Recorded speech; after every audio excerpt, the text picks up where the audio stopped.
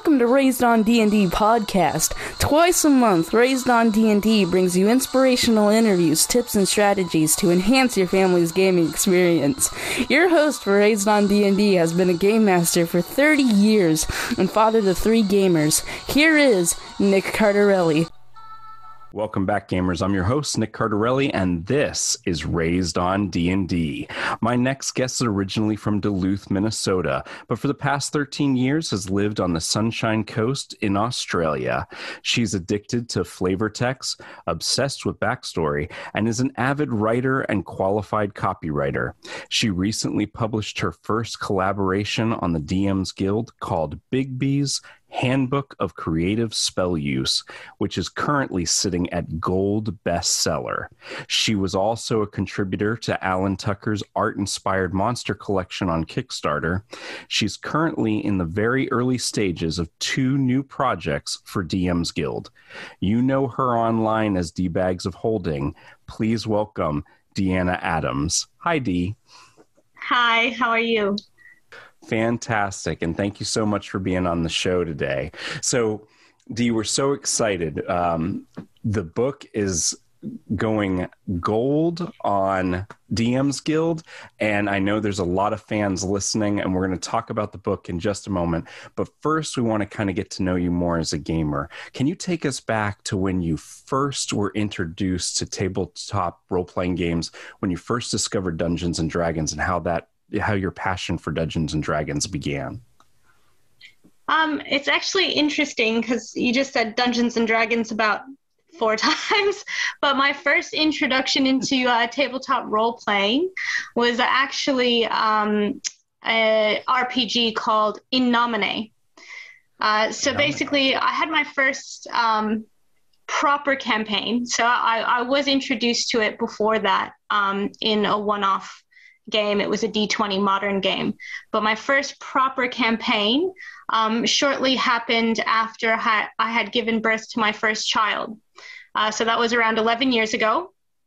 And um, I think I was looking for something that I could do with my husband that didn't require getting a babysitter because babysitters are expensive. Um, and, you know, we had a little baby at home, and uh, I kind of felt like I still wanted that social aspect of my life and, and couldn't get out of the house, just yes. trying to figure that out in that part of my life. Um, and so uh, my husband had suggested that we um, go over to a friend's house. It was one of his friends. I hadn't met him yet. And his name was Justin, Justin Johnston. So um, you might actually notice that name is one of the um, uh, well, the main name for Bigby's handbook. Um, so that was when I first met Justin, who I ended up collaborating with on the book. But we went over to his house, and he was running um, a campaign uh, for In Nomine. Uh, I don't know if you're familiar with In Nomine, but it's uh, um, just just a little bit. I've seen it in passing in comic book and game stores. Tell us a little bit about In Nomine. Yeah, so In Nomine uses uh, what they call it a D triple six rolling system. So you have three D6, uh, and essentially you play as either angels or demons, and it's set in a, a modern world. Um, and the 3d6 system was actually quite interesting. Um, so you have the first two dice, uh, which are compared to a target DC. And then the last die is the degree in which you succeed or fail with that that um, target DC. Um, so, and then depending on if you were an angel or a demon, if you roll a triple six um, or a triple one, that was like the um, the epic fail or epic success in the game. So essentially, my very first campaign and my very first introduction into role playing, I never actually touched a d20 um, at all. and fast forwarding though, how many children do you have now? So um, my oldest is 11. Um, I have three children now. Uh, the youngest is seven. And then um, I have a son who's nine. Um, and then my oldest is a girl. She's 11. So two girls, one boy, uh, seven, nine, and 11. You can tell we've we planned that. We are very organized with the um, the procedure of conception. Um, but yeah, and we're done now. That's that's. better better job than us. We're ours are all 17 months apart, so they're right back to back to back. And I've got a, a 15 year old, a 13 year old, and a 12 year old. How old were the children when you decided to introduce them to tabletop role playing games? So, it's a tricky question because officially it's only been about three months. Um, we we've just kind of realized that our youngest is at that age where she can engage and and and kind of understand the idea of role playing. Um, but you know, prior to that, obviously we were playing all sorts of games with them. Um, there was a period of time actually that my husband Jason and I really got into live action role playing. Um, so where we live in Australia on the Sunshine Coast. Um, by the way, if you Google Sunshine Coast on Google Maps, nothing will show up. Um, it's because the Sunshine Coast is a region, and there's about 50,000 towns or cities in that region. Um, and it's literally, you know, I live in a, a town called Parrearra. And if I look across the road, that is um, Warana. And then if I walk 100 meters down the road, I'll be in Buddina. And then 50 meters past that is Minyama. So there's lots of little towns, but if you ask anyone, we're from the sunny coast or the sunshine coast. Um, but yeah, so where we are, it's kind of a, a, smaller, kind of sleepy surfer town sort of vibe. And, um, you know, there isn't, you know, any big Comic Cons or anything like that in this area. The closest is um, Brisbane, which is uh, the main city in Queensland, um, and uh, that's about an hour and a half away. So we've we had um, we have things like Supernova, which I think is only Australia, but that's like a it's Australia's version of a big Comic Con. We also have Comic Con as well, and we have PAX um, Australia, but right. that's never in Queensland. That's always down in Sydney or Melbourne. But um, yeah, so we my husband and I, at some point, we were introduced into live action role playing when we went to um, PAX in Melbourne, and we had this idea of bringing a convention to the Sunshine Coast um, and giving it more of that hands on feel. So, uh, you know, a lot of times when you go to a con, it's it's spending a lot of money to get signatures and standing in lines and shopping for you know, cool stuff and buying stuff from local artists. All of that's great, but I, I myself and my husband are kind of more of that like hands-on sort of person. And I remember going to the first PAX that happened in Australia, and um, you know, demoing games and and doing all that stuff, and thinking, well, this is like really really fun.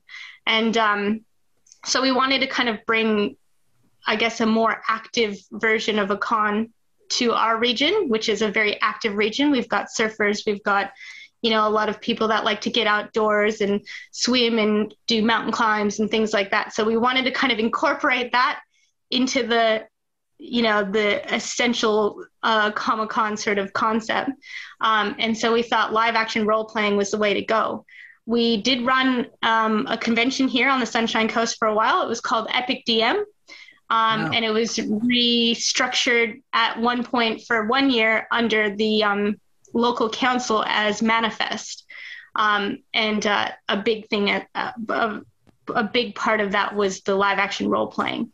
Um, and so, anyhow, when we were doing that, we invested a lot of money into um, swords and weapons and armor, which is still sitting in my garage today. and um, now basically all we use it for is uh, we go out with the kids and run around in the yard and you know invite their friends over and whack them with the these silicone swords for 20 minutes until they all get really tired.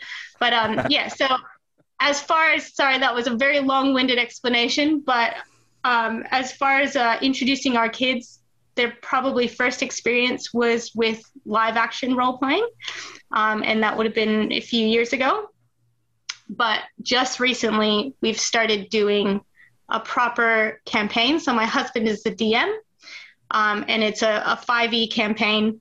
Um, and uh, we all have our own characters. So mine is um, a cleric named Alma. My youngest, she's a sorcerer, but her name is Miss Wizard because she wanted to be Miss Wizard, but she, her class is a sorcerer. And uh, it's really cute because she does this thing where she speaks in a very fancy voice and she goes, Oh, darling, oh, darling, I'm going to cast a spell.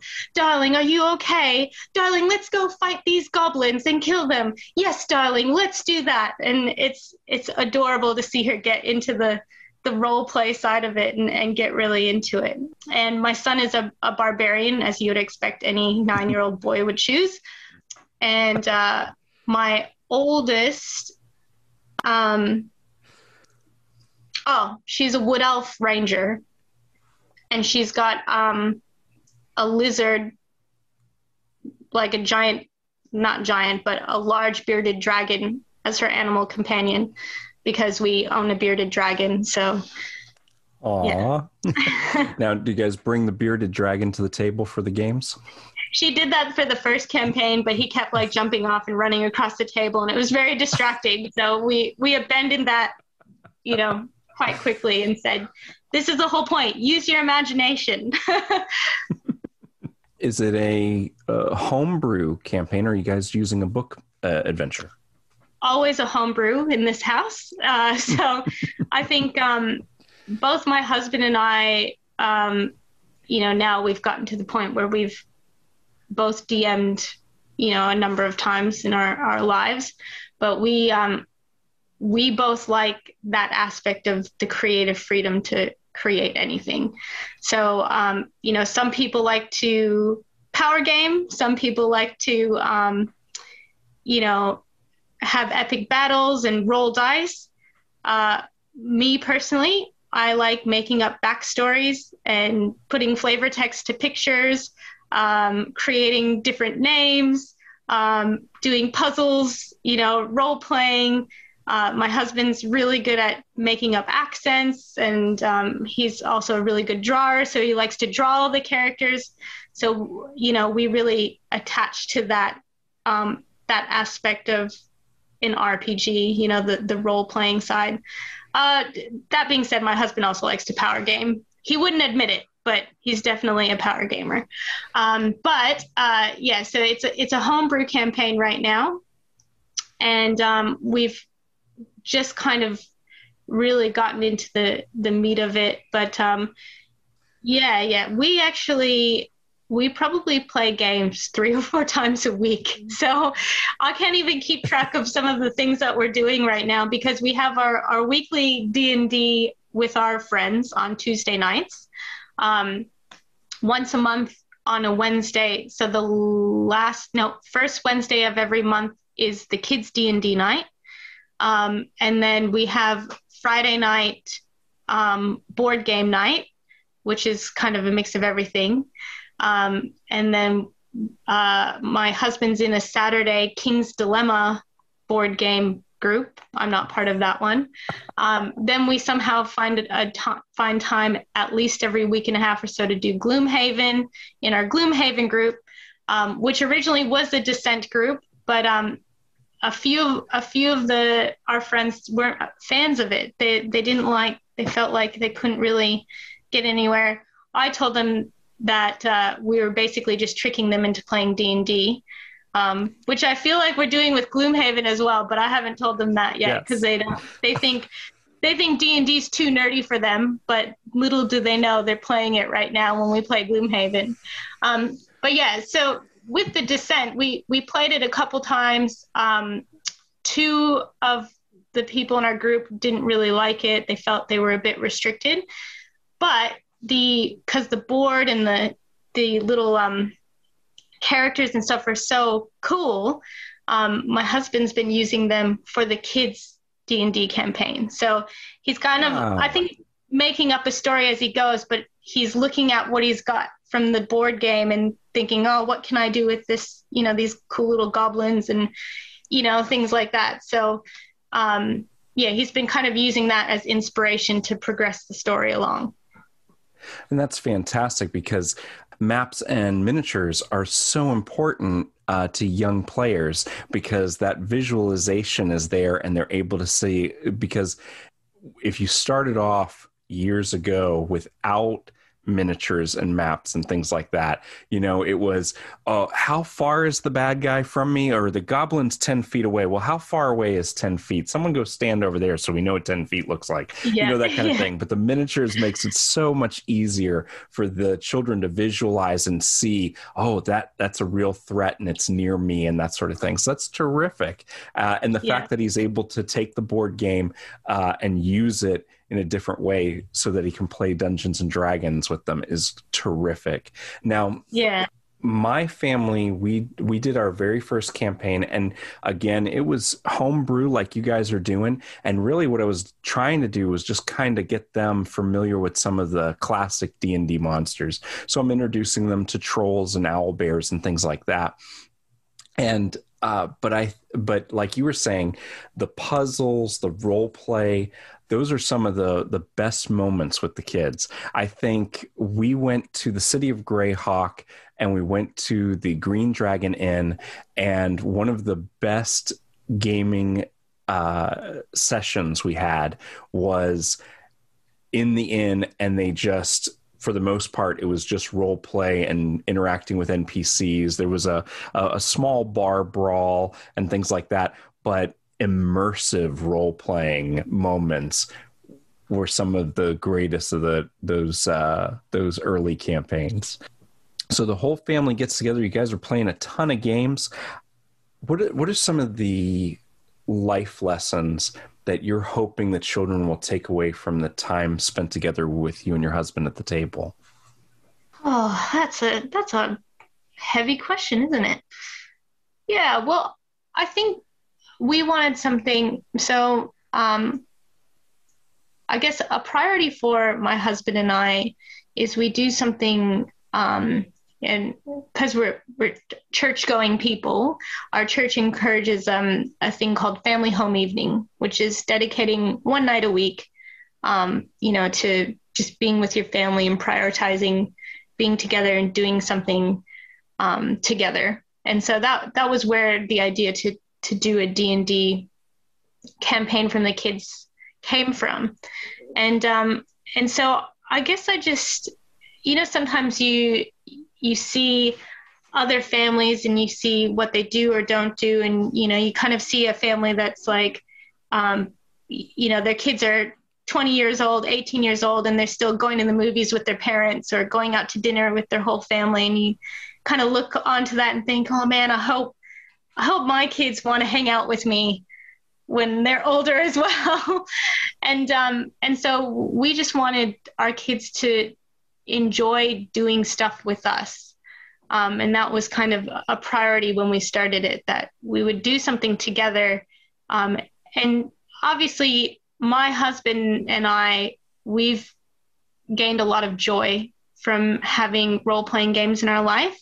Um, we're we're very social creatures, and and it really feeds into that that aspect of us. And we want our kids to be able to be comfortable and and have those social skills to just you know actually thrive and enjoy being around other people and and not being afraid to be a little bit different and and be a bit confident in doing something new or acting a different way and um, yeah that's i think that's what we were hoping to get from it I do think that's what we are getting from it. Um, I guess surprising secondary uh, benefits that have come from it is my kids are really kind of gaining their own self confidence. Um, and also, I've realized my my son is pretty good at math. so we because we we've been trying to do a simplified version of of 5e. So sometimes my husband will just say, you know, roll the dice and I'll tell you what happens. And, you know, he doesn't really kind of look at their character sheet and um, have them try to figure out what skills they're proficient in, things like that. You know, especially with our seven year old, it's just kind of like, oh, roll the di- dice. And she just knows if it's over 10, like she's probably done really well. If, if it's not, you know, she's going to throw a fit and stump her, her foot. But um, my son is surprisingly, you know, he's like, oh, what's her proficiency? Like, you know, and, and he'll kind of, you know, he's nine years old. And I, I, I kind of, ex- I suppose I anticipated that they would all need a simplified version. But I've found that he's picking it up really quick, which um, led to us then um, having a bit of a tutorial with Magic the Gathering because we thought, oh, okay, well, if he can pick this up, then he might be able to now understand, you know, how Magic the Gathering works and, you know, power and toughness and, you know, equating special abilities and putting on plus one counters. And um, yeah, he's picking it up quite quickly. So that would be one of those secondary benefits. You're like, hey, you know, maybe I should put my son in mathletes or something. That's fantastic. And we want to talk about book. So how I know I know that you've been gamer for many, many years now, but how was it that you got in on the project? How was it that you uh, were inspired to to write the write this book? Well, I, I would have to credit that to probably Justin. so, um, one of the people that we um, off and on do campaigns with in D&D is, is Justin Johnston. He's part of, uh, he kind of floats in and out of our Tuesday D&D group.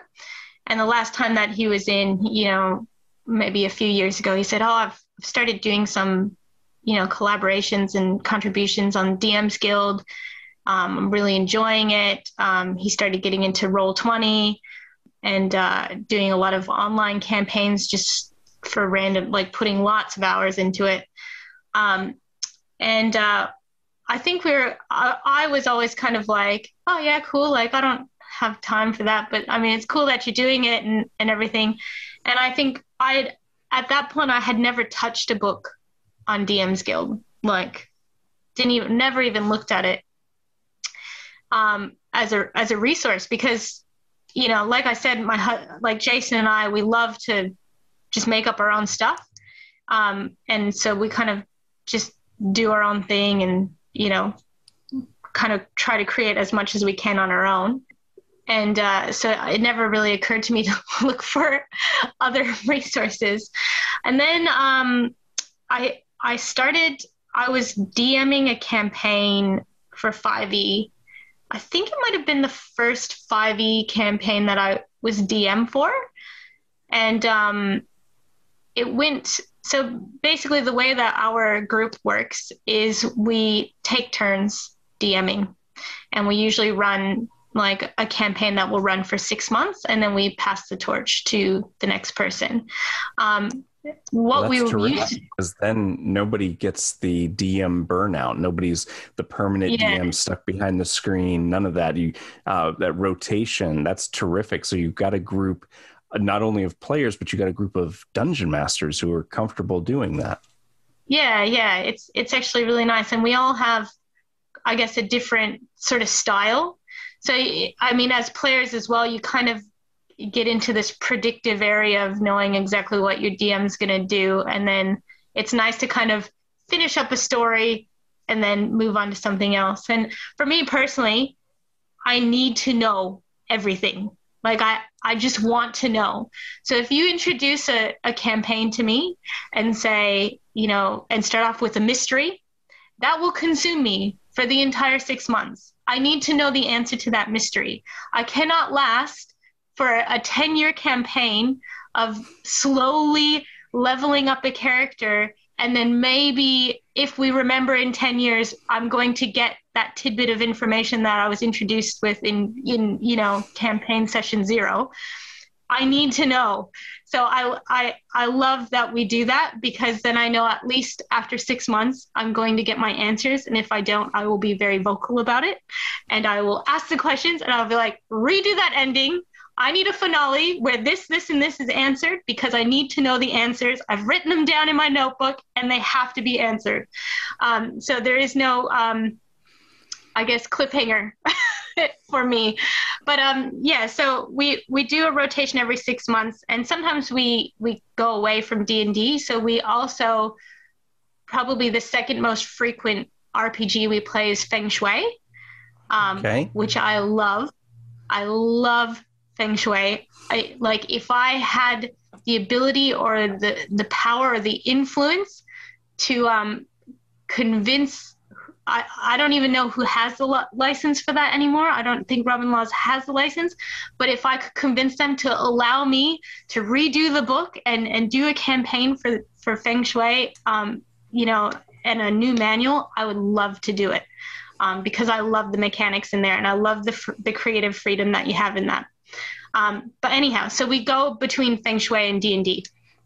Um, and the last time, very cool. Uh, when when 5e kind of started being introduced into our um, group, we had this, this, we kind of decided, oh, let's do, um, uh, you know, six month turns, um, but build up to epic level characters uh, because um, JJ Justin wanted to um, use the the epic um, D and D epic level book that's on DM's Guild, um, and uh, he wanted he wanted us to kind of use utilize that. Um, so anyhow, when it was my turn, I think I was I was 10 to 20 and they were doing the epic level stuff.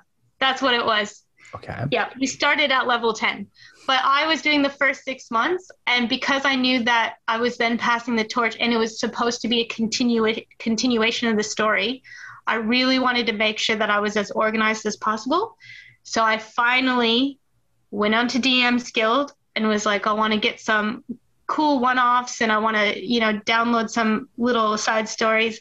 And I guess my my method was always, you know, pull a few kind of um, one-off campaign ideas from there and kind of use them, but mostly just use the stats and everything that they had or the special abilities that they had for their creations, and then I would, you know, rejig the story to fit into what I wanted it to be.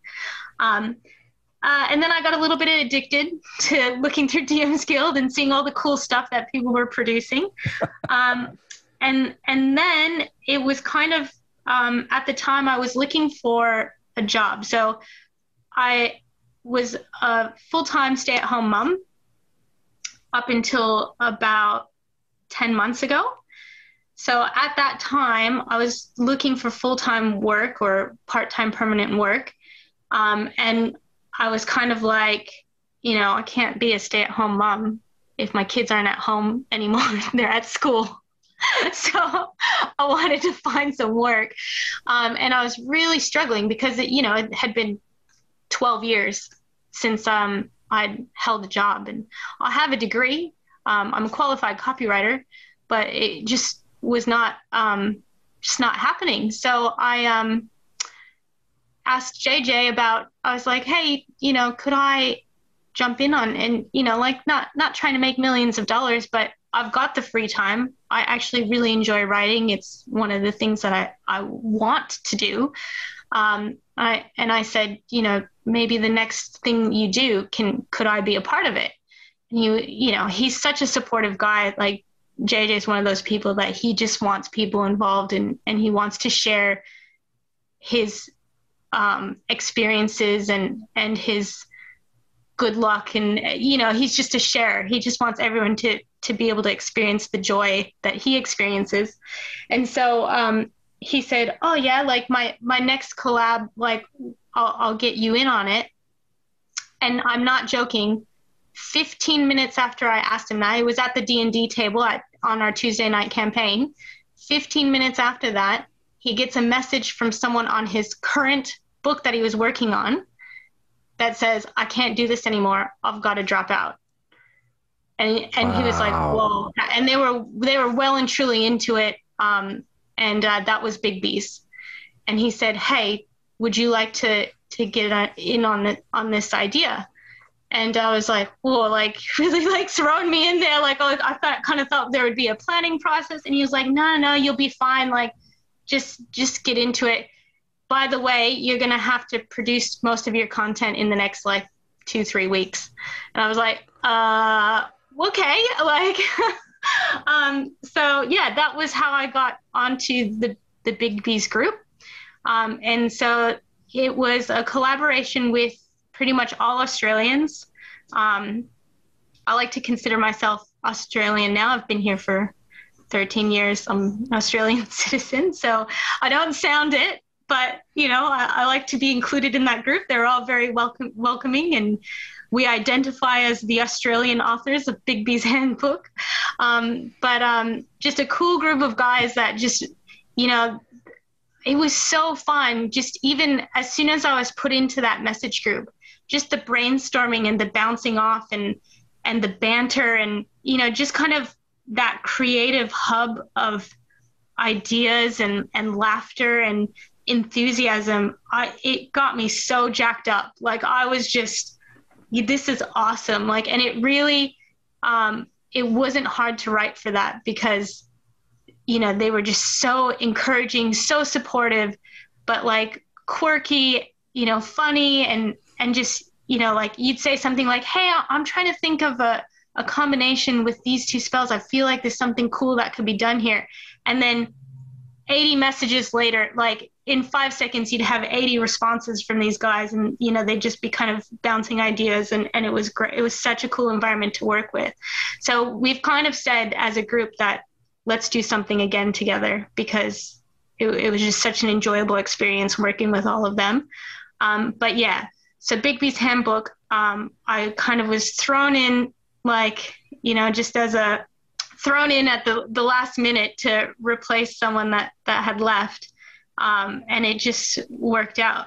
And the idea was so cool. So the, the idea was um, JJ's, um, where he said, look, I, I want to do a book where we, we talk about, you know, spells and working together and how spells can interact with each other and how a team can you know, um, create that synergy in their spell casting.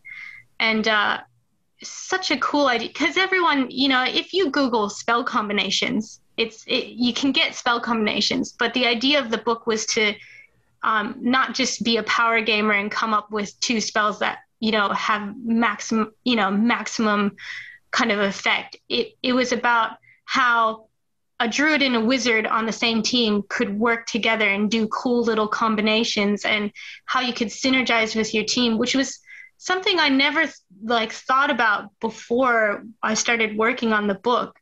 And now I just think it's like the coolest idea ever. And now i'm kind of like whenever we do build new characters and stuff i'm like oh what are you going to be?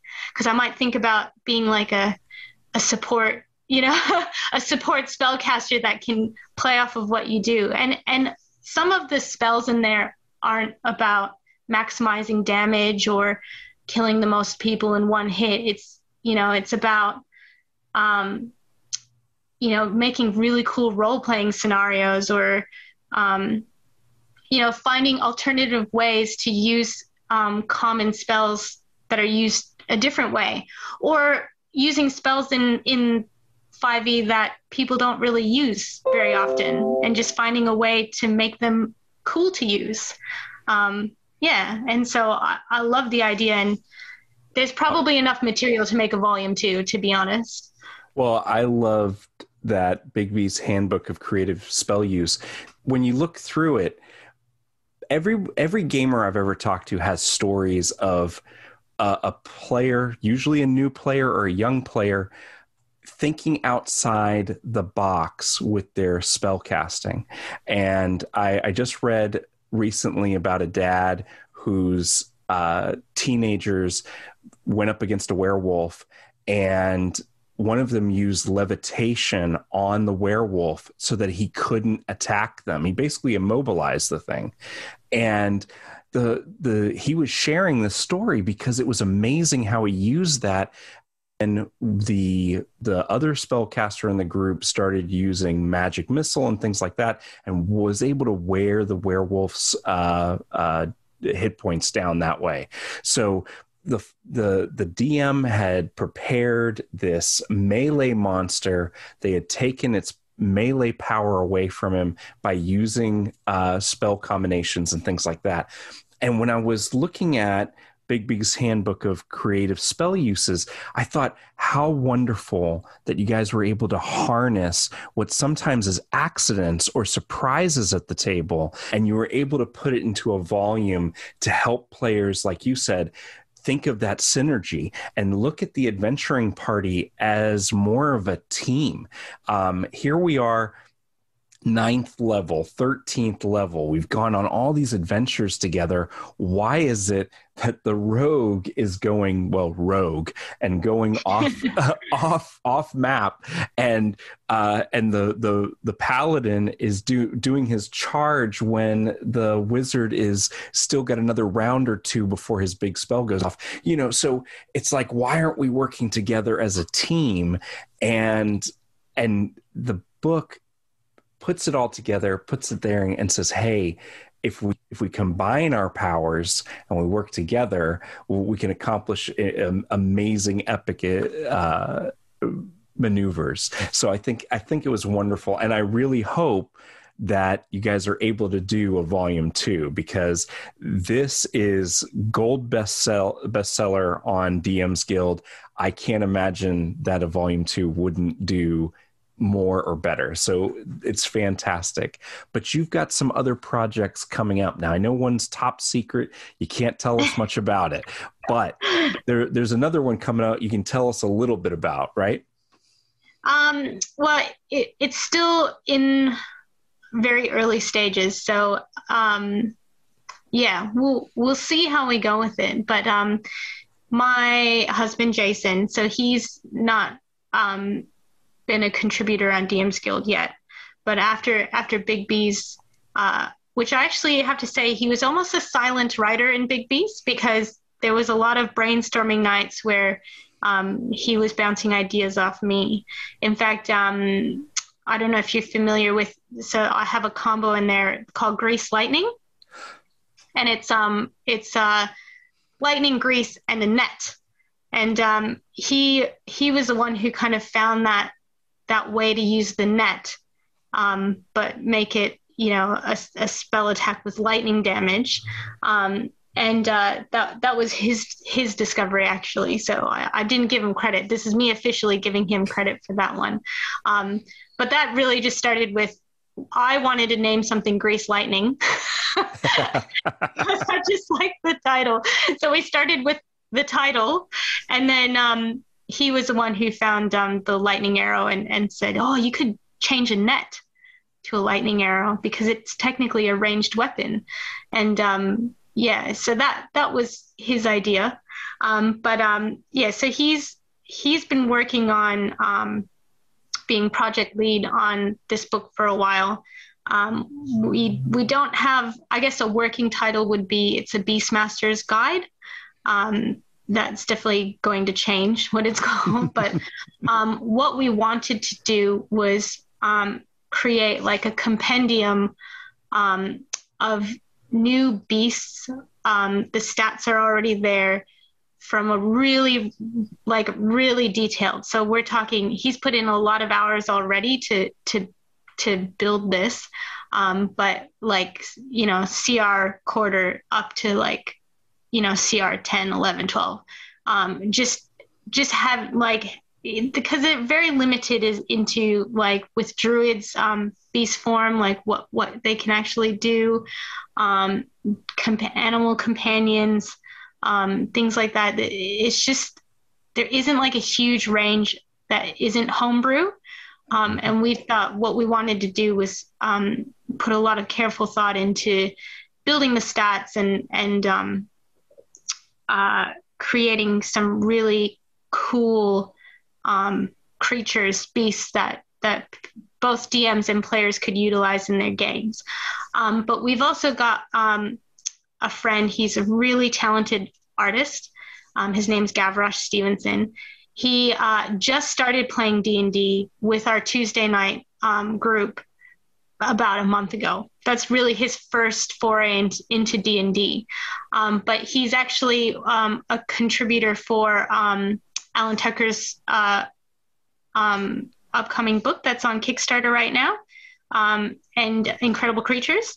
So he is an artist on, on that. He did quite a few of, of the pictures. Um, but we're he's like family to us. We're really close with him, and what we wanted to do with this um, bestiary, I guess that's come that we're planning on doing, is we wanted to make it almost like an art book. So if if there was a, a physical copy of it, a hard copy that you could get, it'd be one of those things that you'd put on your coffee table because you know you just open it up and there'd be this you know beautiful like full page artwork that goes along with every beast that's in that book. Um, and this this is uh, Jason's probably um, pet piece. Like he he's invested a lot of time and love into it in, in creating these beasts. Come here. Come here. Come say hello. I'll just show you. He's like looking at me like, why are you talking about me? This is my husband, Jason. G'day. Hey, Jason, how's it going? Yeah, good, thanks. oh, awesome. Yeah. um, so I I actually haven't cleared with him exactly how much I'm allowed to talk about that bestiary. Um, so I'm trying to, to pretty pretty vague, but Jason, don't worry. Uh, we're only listened to in 40 countries on six continents. So this is between us and my 1,700 followers on social media. Uh, so that that's okay. it. Uh, the, those are the only ones that know. yeah, I'm not freaking out at all right now. well, well, Jason, we're just talking about you guys gaming with your family, with the children. You're running the campaign now.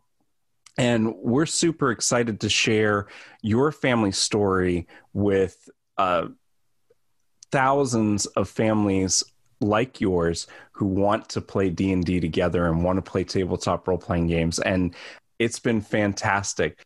Thank you so much for for popping in and Dee, we want to wish you a happy Mother's Day. Thank you so much for coming out and and doing this with us today.